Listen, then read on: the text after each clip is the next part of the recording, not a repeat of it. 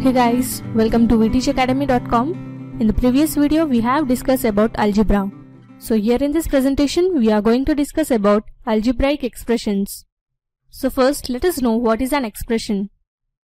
So here, an expression can be defined as a single or group of terms combined with the symbols plus or minus. Now let us consider few examples here. So here we have two expressions 7 plus 5 and 24 into 7. So here, if every term of an expression is a constant term, then we call such expression as a numerical expression. Similarly, let us consider another example over here.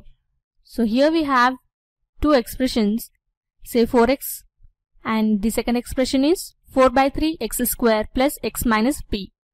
So here we have these two expressions so here the expression containing at least one algebraic terms that is variable terms we call this expression as a algebraic expressions. And these algebraic expressions are categorized according to the numbers of terms in it. For example, we have two expressions over here 7x and the second expression is minus 5 divided by 6ab.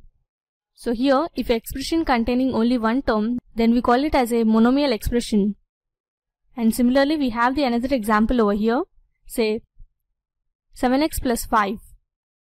So here, if the expression containing two terms, then we call such expression as a binomial expressions. Let us consider another example. So here we have 3x minus 3y plus 5z. So here, if an expression containing three terms, then we call such expression as a trinomial expression. So let us consider an example over here. Now let us learn what is the degree of algebraic expression. So here we have an algebraic expression 7x cubed minus 4x square plus 3x plus 2. Now let us find the degree of this expression.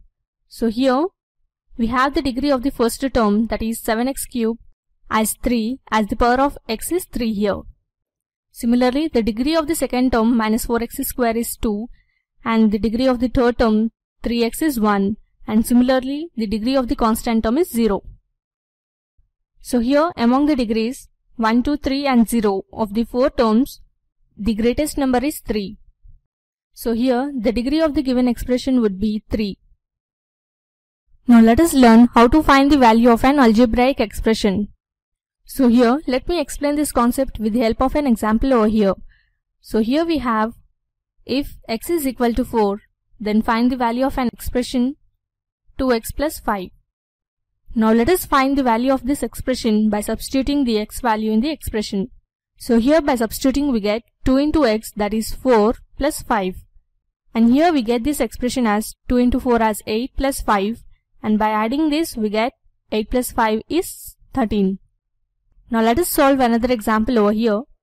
So here we have if a is equal to 3, b equal to 0 and c is equal to 4, we have to find the value of a square plus ab plus bc. Now let us substitute the abc values in the expression. We get a square that is 3 square and here a is 3 and b is 0 plus b is 0 and c value is 4. So by simplifying this we get 3 square as 9 plus 3 into 0 is 0 and here 0 into 4 is 0. So by adding this we get 9 as the value of the expression.